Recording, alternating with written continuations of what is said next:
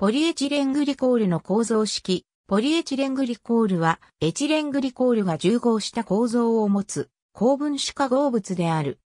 ポリエチレンオキシドも、基本的に同じ構造を有する化合物であるが、PG は分子量2万程度までのもの、ペオは数万以上のものを言う。両者は物理的性質が異なりようとも異なるが、科学的性質はほぼ同じである。一般的な構造式は、法 NH と表される。PEG は水、メタノールベンゼンジクロロメタンに、火用、ジエチルエーテルヘキサンには不要である。タンパク質など他の高分子に PEG 構造を付加することを PEG 化という。PEG は無毒でいろいろな製品に用いられる。材料としての PEG は軍用防護服や糖尿病患者の血糖値を監視するための採血器に変わるタトゥー風の方法などへの応用も開発されつつある。PEG によりポリウレタンエラストマーにゴム状の性質を与えることができ、これはポリウレタンフォームやスパンデックス繊維へ応用されている。PEG を他の疎水性分子に結合すれば、非オン海面活性剤が得られ、化粧品の乳化剤などに用いられている。分子量3500から4000のポリエチレングリコールは慢性便秘の射下薬として用いられる。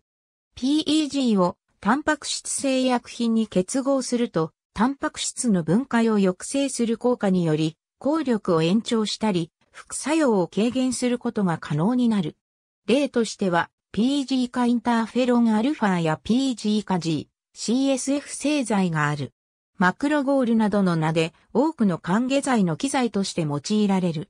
またセトマクロゴールは皮膚用クリームに用いられるが、稀に急性アレルギー症状を発症することがある。PEG はタンパク質を結晶化する際に沈殿剤としてよく用いられる。PEG は脊椎損傷の治癒に効果があることも犬の実験で示されている。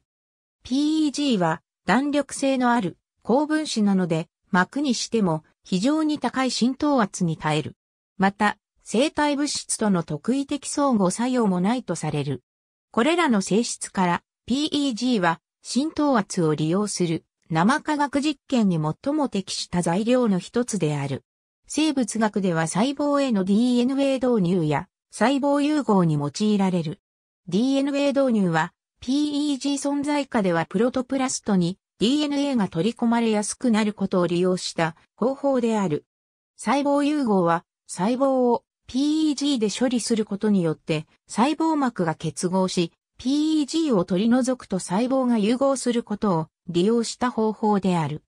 考古学においては古い木造品を保存する際に内部の水分と PEG とを交換して固化することで保存するために用いられる。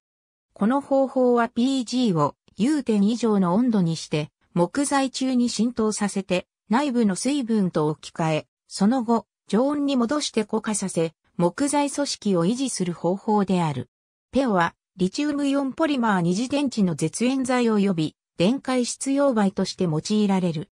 拡散速度が低いので、機能に高温を要することも多いが、粘度が高いため U 点に近い温度でも、非常に薄い電解質層を作ることが可能である。結晶化によって性能が落ちることもあるが、逆に多くの塩によって結晶化が抑制される。このような性質により、他のリチウムイオン二次電池よりも、軽量の割には大エネルギーを出すことができる。ありがとうございます。